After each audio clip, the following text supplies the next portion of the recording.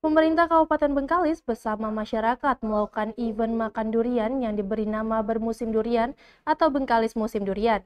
Kegiatan yang dipusatkan di Kecamatan Bantan ini disambut baik oleh masyarakat.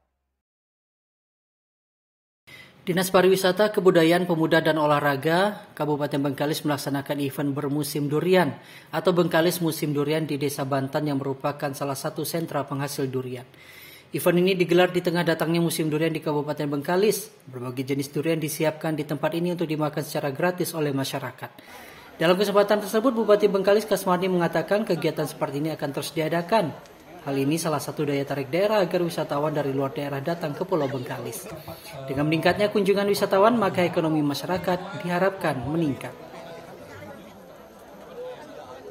Pada musim durian ini tentu kita mempunyai filosofi yang sangat besar sehingga kita berhasrat untuk melakukan kegiatan ini. Kita bermaksud dengan adanya promosi dari Dinas Kepariwisataan. Kita berharap durian Bengkalis ini semakin terkenal bukan saja di Kabupaten Bengkalis kita berharap bisa terkenal di provinsi bahkan di mancanegara negara-negara tetangga kita.